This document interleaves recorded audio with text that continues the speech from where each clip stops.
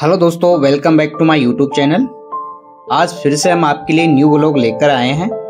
आज हम देखने आए हैं चाँद बावड़ी, जो जयपुर से करीब 90 किलोमीटर दूर दौसा ज़िले की बांदीकुई तहसील के आबानेरी गाँव में स्थित है। टिकट लेने के बाद हम जा रहे हैं चाँद बावड़ी की तरफ़। और टिकट की रेट है पर कैंडिडेट पच्चीस रुपये अभी आप देख रहे हो चाँद बावड़ी का बाहर का व्यू जो पूरा गार्डन बना हुआ है। अब हम पहुँच चुके हैं चाँद बावड़ी के मेन गेट पे। और इसी गेट से हम एंटर हो रहे हैं। और यहाँ से हमने एक गाइड हायर कर लिया है, जो आपको इस बावड़ी के बारे में जानकारी देंगे।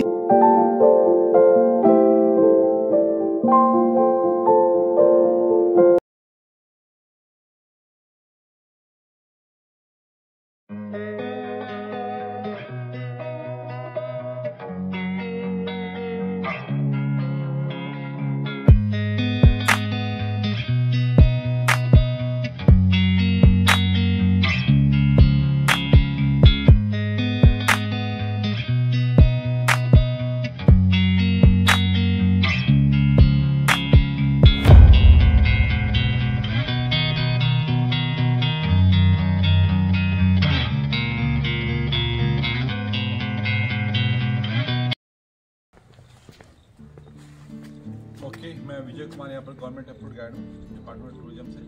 तो बहुत सारी बावड़ी राजस्थान में 112 लिस्टेड और बावड़ी। पास में आगा वाली 112 बावड़ी है लेकिन आजकल इसी बावड़ी की चर्चा की हो रही है पूरे भारत में। इसको देखने के लिए देशी नहीं विदेशी टूरिस्ट आ रहे हैं। इसकी जो लंबाई और चढ़ाई बराबर है। लंबाई और चढ़ाई जब बराबर है तो ऐसे देखने में ऐसा लग रहा है कितनी गहरी बावड़ी है। पर है उन्नीस पॉइंट पाँच मीटर ऊपर से लेकर नीचे तक। अभी कैसे मान के चलो उन्नीस पॉइंट पाँच है? हर एक जो लेवल है पाँच फीट का है। एक दो तीन चार पाँच छः सात आठ नौ दस ग्यारह बारह तेरह। और तेरह को जब पाँच से गुणा करेंगे अच्छा तो पैंसठ फीट हाँ। और पैंसठ फिट को उन्नीस पॉइंट पाँच बोलो दो चाहे छियासठ पैंसठ फीट बात है। अब ये लेटर एडिशन में क्या है कि जब राजा रजवाड़ों का जब समय था तो एक जगह से दूसरी जगह लोग जाते थे, रुकते थे, ठहरते थे। तो उनके लिए सराय का भी काम करते थे। यहाँ रुकने, ठहरने, नहाने, धोने, बैठने के लिए जगह थे। सामने अब चूँकि नेशनली प्रोटेक्टेड मॉन्यूमेंट घोषित कर दिया डिपार्टमेंट ऑफ़ टूरिज़्म की तरफ़ से, अब नेशनल प्रोटेक्टेड मॉन्यूमेंट घोषित कर दिया मिनिस्ट्री ऑफ़ कल्चर की तरफ़ से तो अभी यहाँ पर टिकट शुरू कर दिया तीन साल पहले। जब टिकट शुरू नहीं था उससे पहले भी लोग आते थे पर टिकट शुरू होने के बाद इस जगह की वैल्यू बढ़ गई। अच्छा कहीं यहाँ पहले फ़िल्मों की भी शूटिंग हो चुकी हिंदी के अलावा अंग्रेज़ी फ़िल्मों की भी शूटिंग हो गई बॉलीवुड हॉलीवुड अब चूँकि ये टिकट होने के बाद इसको लोगों को लगता है कि कुछ खास है कुछ बात है जो अब लोग देखने के लिए आते हैं। ये पूरा ये दक्षिण और पश्चिम का सतह आठवीं शताब्दी का है। अच्छा। Eight time century AD. और वो सामने का सर जहाँ लाल पत्थर जहाँ पत्थर दिख रहा लाल पत्थर। उस बात का पत्थर सोल्यूशन है अच्छा। अब सिर्फ़ एक दिन के दिन लिए इसको खोला जाता है। जो लोग परंपरा चली आ रही है बरसों पुरानी जमजुनी एकादशी के दिन जो लोग जानते हैं डाइविंग करना हाँ। वो तो बड़े पत्थर लगते हैं बाहर जाकर बुद्धा बैठे वहाँ से लोग कूदते हैं। अच्छा। जंप करते हैं। तो पानी का लेवल एक दो तीन अल्फ़ा आ अच्छा। इस खूबसूरत बावड़ी का निर्माण करवाते थे चौहान मस्जिद राजा चंद्र और चाँद। अच्छा। उन्होंने बनवाई इसलिए इसका नाम पड़ा चाँद बावड़ी। अब ये बावड़ी यहीं क्यों बनाई गई? बावड़ी कहीं बनाई जा सकती थी ये बावड़ी यहाँ इसलिए बनाई गई कि दो नदी के बीच में। अच्छा नदी कौन सी दो? एक तो बाणगंगा नदी। हाँ जो भी यहाँ पास करेक्ट एक सावा नदी। अच्छा। दो नदी के बीच होने की वजह से नीचे से पानी आता है। अच्छा। और ऊपर का पानी बरसता है। तो बिना पानी के ये बावड़ी देखी नहीं गई जैसे जैसे बरसात आएगी हाँ। पानी का लेवल ऊपर आ जाएगा। अभी बरसात में बढ़ता है इसका हाँ? बरसातों में पानी का लेवल एक लेवल दो लेवल ऊपर तीन लेवल ऊपर आ जाएगा। अच्छा। तो ये आर्टिस्टिक रिसर्च वाला हम लोगों का आकर्षण का केंद्र बनती जा रही है। लोग आने लगे हैं देखने के लिए। और ख़ास बात ये है कि इतनी खूबसूरत बावड़ी कहीं नहीं है। क्यों नहीं है? ज़्यादातर या तो बावड़ी मिलेगी आपको रेक्टेंगुलर अच्छा। या सर्कुलर अच्छा। एक मात बावड़ी जिसकी लंबाई और चौड़ाई बराबर है इसका मतलब इसलिए यहाँ ऑप्टिकल इल्यूजन होता है। ऐसा आवाज़ हो रहा है कितनी गहरी बावड़ी है। ये सारी मूर्तियाँ दिख रही हैं। ये सारी मूर्तियाँ भी मंदिर की हैं। मंदिर बड़ा विशाल मंदिर था। कौन से मंदिर। की ये कहाँ से निकाली है? अच्छा वो पास में जो हाँ, मंदिर है। हाँ, ये मंदिर जो दिख रहा है ना हाँ। ये बड़ा विशाल मंदिर था जिसको तहस नहस कर था ग्यारहवीं शताब्दी में गजनी के द्वारा। अच्छा। खंडी तो वैसा ही होती है। खंडित कर दी गई। हाँ। अब यहाँ इसलिए रख दी गई। जब टूरिस्ट आए जगह देखने के लिए तो जमाने के आर्किटेक्ट ही नहीं देखे आर्ट भी देखे। और आर्कियोलॉजिकल बिल्डिंग तो है। और जगह का भी नाम आबानेरी है। आबानेरी से मतलब ये लगाया गया कि चांदी रात में जब चाँद चमकेगा हाँ हाँ। धमकेगा आबा देगा name of the place Abhaneri city of glory अब नेशनल प्रोटेक्टेड मोन्यूमेंट होने के बाद इसकी देखने गवर्नमेंट ऑफ़ इंडिया देखने लगी है।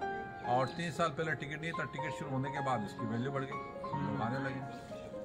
अच्छा पहले टिकट नहीं था तीन साल टिकट नहीं था। फिर ये गोल्डन ट्रैंगुलर के बीच में ना हाँ, तो जयपुर से जो टूरिस्ट मूव कर रहे हैं जब आगरा आगरा से जयपुर की तरफ़ आ रहे हैं हाँ हाँ। उसको देखता हुआ निकलता है। अच्छा। तो मैं यहाँ विजय कुमार सांवरिया पिछले और इसकी कुछ पुरानी हिस्ट्री है ना कि यहाँ पे कोई एक बार भरा था ये नहीं ये बेकार की बात है ये हम बताते है। हाँ, ये सब क्यूजंती होती है? ना कहा जाता मतलब हाँ, ऐसा। कहते हैं कहते कहते लोग कभी और full. दोबारा प्यार हो गई बाकी कहने में कुछ सच्चाई नहीं। है। अच्छा, कोई तो तो नहीं, ये सारी बकवास है। अच्छा। फालतू की बात है जिनके पास समय हो वो ऐसी बातें करते हैं लेकिन नहीं सच्चाई अरे आप सोचिए हिंदुस्तानी आदमी चाँद पे जा चुका। हाँ हाँ और चाँद बावड़ी के बारे में आपने कहें कि यहाँ ऐसा होता है वैसे तो बड़ी बेमानी लगती है। मेरे जैसे गाइड को बताते हैं। तो ये हर जगह की लोकल शेल्स होती है किवदंती जिसको बोलते हैं। अच्छा ये कितनी पुरानी है? ये बारह सौ साल पुराना अच्छा। आठवीं नवी शताब्दी की बावड़ी है। इसमें अंदर जाना मना। कुछ ऐसे बोलते हैं जिस सिटी से जाओगे आप सिटी से आ नहीं सकते ऐसे बोलते हैं इसके बारे में आप जिस सिटी से जाओगे सिटी से आप ऊपर नहीं आ सकते कुछ ऐसा करते हैं इसके बारे में? नहीं ऐसा कंफ्यूज माइंड हो जाता है ना अभी आप टॉप पर है आपको सारी सीढ़ियाँ नज़र आ रही हैं। अच्छा। लेकिन अब जैसे आप नीचे पहुँच जाएँगे हाँ। यू आर टोटली कंफ्यूज कि मैं कौन सी सीढ़ी से ऊपर से नीचे आया। नहीं कुछ ऐसे कहते हैं सिक्के के रख जाओ तब भी उससे नहीं आ पाओगे कुछ ऐसा ऐसा कुछ भी नहीं है मैं कितनी बार गया हूँ कितनी बार आया। सब मिथ्या बातें कहने में। कुछ भी कहते नहीं बात ये है कि ऐसा कुछ नहीं है। खूबसूरत बावली इसको देखने के लिए काफ़ी लोग संख्या में आपको आने लगे हैं। तो ये है। इसकी में है ना? मैं विजय कुमार सांवरिया और जो जयपुर से कितना किलोमीटर पड़ता है वैसे? ये जयपुर से पड़ता है पूरे 88 किलोमीटर। अच्छा। तो काफ़ी पर्यटक वगैरह आते हैं हाँ पर्यटक अब आने लगे ना। देसी टूरिस्ट को आने लगा है।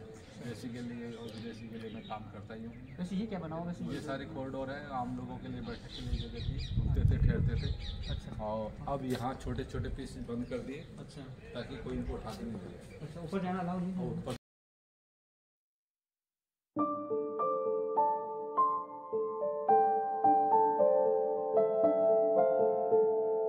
इस बावड़े के बारे में कहा जाता है कि जिन सीढ़ियों से आप नीचे उतरोगे उन सीढ़ियों से वापस ऊपर नहीं आ सकते। यानी ऊपर आने के लिए आपको अन्य सीढ़ियों का सहारा लेना ही पड़ेगा।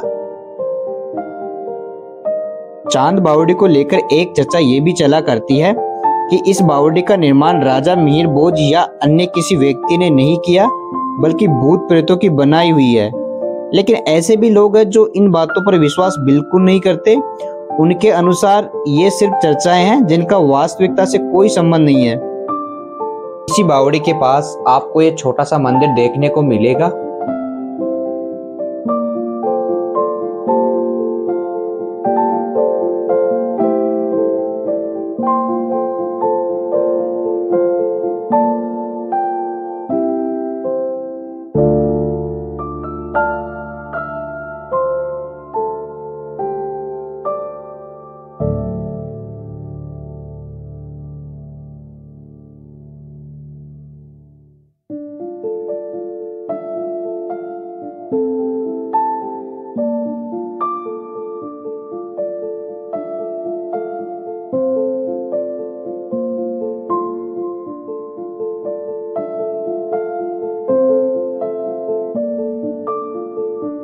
चाँद बावड़ी के निकट ही आपको अरसद माता का मंदिर देखने को मिलेगा। ये मंदिर भी उसी कालखंड का है जब चाँद बावड़ी का निर्माण हुआ था। इस मंदिर के निर्माण में इस्तेमाल हुए पत्थरों पर देवी देवताओं की मुद्राएँ बनी हुई है। इस मंदिर का निर्माण राजा चाँद द्वारा आठवीं शताब्दी में करवाया गया था। ये मंदिर लगभग 3000 साल पुराना है, लेकिन वर्तमान समय में यह मंदिर अपनी वास्तविक स्थिति में नहीं है। ये तथ्य इतिहास में दर्ज है कि सन 1021 से 1026 के दौरान इस मंदिर को काफ़ी क्षति पहुँची थी। तब मोहम्मद गजनवी ने मंदिर और उसके आसपास के इलाके में काफ़ी उत्पात मचाया था। उसने यहाँ स्थापित मूर्तियों को बुरी तरह क्षतिग्रस्त किया था।